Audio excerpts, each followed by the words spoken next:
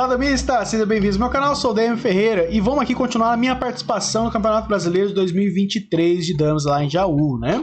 Agora estamos na grande final, a grande final uh, que eu enfrentei o Luiz Carlos Jeremias, jogador é, conhecido da região onde, onde eu cresci praticando aqui. Enfim, é, fato curioso contra o Jeremias é que em 2006, se não me engano, eu venci uma etapa é, da Liga Oeste Paulista que tinha 116 participantes em São José do Rio Preto. E a gente dividiu o título ali, eu ganhei nos critérios de desempate. É, eu fiquei invicto e ele ficou invicto também. Nós ficamos com a mesma pontuação no final. Só que eu ganhei nos critérios de desempate, eu fui campeão dessa liga. E agora, depois de o que aí? Uh, 17 anos, a gente foi se enfrentar de novo. A gente nunca mais se, nunca tinha se enfrentado novamente, é, se eu não me engano. A gente se enfrentou em 2006 lá e empatamos. E aí a gente veio se enfrentar de novo nessa final, né? Um abraço do Jeremias aí, de Tararé, Luiz Carlos Jeremias, né? grande abraço. Uh, então vamos lá para ver o que aconteceu nesse tabuleiro, né? Uh, eu estava de brancas nessa primeira primeira etapa aqui, na final, né? E, e era no tempo de 30 minutos mais 20 segundos por lance. E aí a gente joga duas partidas de sorteio, certo? Então vamos lá, sem delongas. Aqui foi uma promotion, nós jogamos a promotion G3F4, F6E5, C3D4 uh, e trocou para E5G3 e começa aqui o nosso embate. Eu estou de brancas e eu tomei pro centro H2 F4. Ele jogou o C5 desenvolvendo, eu joguei o B2 C3. Haja vista que agora, como eu já desenvolvi minha H2, a probabilidade do jogo continuar da ala esquerda é muito grande, porque eu preciso desenvolver agora o A1. Então, ele está mais organizadinho de certa forma. Ele jogou o G7 F6, joguei o C3 B4, B6 A5, tomei, tomou, tomei, tomou, e aí eu montei C1 D2, uma espécie de alma aqui, né? Aquela abertura alma. Jogou A7, eu tomei e aí ele trocou para o centro, tá? A1 B2 desenvolvendo, F8, joguei um F2 G3 aqui, já nivelando a posição e tentando atrasar o H8 dele. ele jogou o G5 já prevendo, porque se ele joga o, o E7 D6, que é o que eu esperava, eu poderia jogar, vamos supor aqui o G3 H4, e a H8 dele aqui começa a ter problema para desenvolver, né? Se ele monta em E5, eu jogo o G1, toma, toma, e agora ele não pode nem andar com H8 nem com D8. Então essa posição aqui começa a ficar crítica para ele. Ele sabendo disso, jogou o G5. Joguei o B2, jogou H8 e eu fiz essa, essa liberação de espaço, né? Tomou, tomei para trás. Normal desenvolvimento, joguei o F4 aqui, ainda tentando um centro. Ele jogou o G7 e eu joguei o F2 E3. E aqui nós temos uma posição simétrica. Veja que a posição das brancas, ó, é a mesma posição das pretas, ó. Posição simétrica. Ele jogou o D8, eu montei.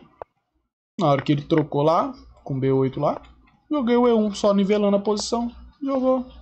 Troco lá em cima. Ele trocou aqui na frente. Joguei H6. Defendeu. D2 e 3. Ele anda. Eu jogo H2. Ele joga, troca. E tá empatado, né? Porque aqui vai sacrificar. Veja que se ele faz dama aqui, eu sacrifico no espelho e jogo. A peça dele está refletindo a dama. Então a dama não consegue ver minha peça de G7. Por isso empata. Então até aqui acho que não teve muita novidade para falar. Assim, tem muita análise de posição, o meio de jogo até conturbado, por exemplo, joga aqui, toma, toma. Por que esse, não esse, né? Uh, mas é, eu acredito que não há muito o que falar aqui, não. Foi só uma partida que ele foi escolhendo os lances, eu fui defendendo e eu acho que não houve muitos erros. Foi uma partida jogada tranquilamente. Então empatamos a primeira partida, primeira dessa fase aqui, né? Que é a fase final, e vamos jogar a segunda partida. O que, que aconteceu? Vamos lá. O sorteio foi G3 F4, F6 E5, C3 D4, toma. E aí começa escolhendo essa tomada. E ele tomou igual. Joguei o D6 C5, ele jogou B2 C3, eu joguei o G7 F6. Ele jogou o C3 B4. Eu analisando, analisando, como a gente tinha jogado a primeira partida, gasta muito tempo, a gente viu que não tem fragilidade talvez no jogo do outro. Aí eu joguei o mesmo lance. Ele tomou igual, eu tomei, tomou, tomei e ele montou. Eu fiz o mesmo lance, tomou, eu, eu fiz a troca aqui. E aí ele me fez um questionamento. Ele falou: Você quer empatar essa partida? E aí nós vamos pro próximo sorteio? Aí eu falei: Mas por quê? Ele falou assim: Ó, eu vou no banheiro e você decide aí. Porque eu vou dar os mesmos lances que você. E aí ele, ele foi no banheiro. E aí eu, eu dei um, um, leve sorriso assim, eu pensei, né? Eu fiquei ali, caramba. Só que eu, meio que lembrando da primeira partida e a posição que se concretizou assim, eu preferi as pretas. Só que eu não vi vantagem mudando o lance. Inclusive, se mudasse alguns lances que ele jogou, eu acho que brancas estariam melhor, na minha opinião. Então, eu falei, caramba, se eu vou jogar a mesma coisa que ele, eu não vou mudar os lances, provavelmente porque eu não vi vantagem. E inclusive brancas ficariam melhor. E ele, e ele tem a ele vai lembrar a partida, a partida tá ali anotada, ele vai dar os mesmos lances que eu. Então eu falei, vamos empatar e vamos pro próximo. Aí ele voltou e eu falei assim, ó, vamos empatar? Ele falou, não, demorou então. Aí a gente empatou, pronto. É, a gente reproduziu a mesma partida. Então jogamos igual. E aí aqui a gente já falou, vamos para a próxima. Beleza. E aí as próximas eu não tenho anotado para vocês. Então a gente empatou no tempo regulamentar as duas partidas e fomos pro desempate. Só que eu, eu quero é, lembrar você, é, mostrar para vocês aqui. Aí como eu comecei de brancas, agora eu comecei, eu fui de pretas. E aí beleza, nós chamamos para sorteio e agora o tempo reduziu de 30 mais 20 para 15 mais 5. Então 15 minutos mais 5 segundos por lance. E aí foi feito outro sorteio e deu outra promotion. E a promotion que deu foi esse lance aqui, ó. C3D, é, C3B4, F6, E5, G3H4, E5, F4. E pronto, começa aqui. As brancas iam tomar, a gente ia tomar. É, ia ter que ser obrigado a jogar australiana, abertura australiana normal.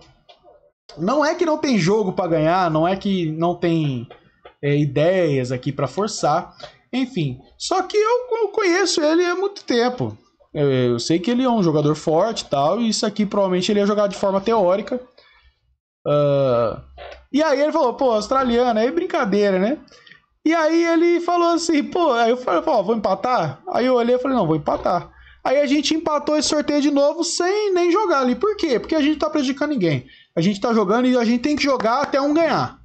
Só que, nessa situação, a gente falou assim, pô, vai ser difícil demais a gente ganhar um do outro. Nessa partida que é, é digamos assim, que é básica para todo mundo, né? Todo mista.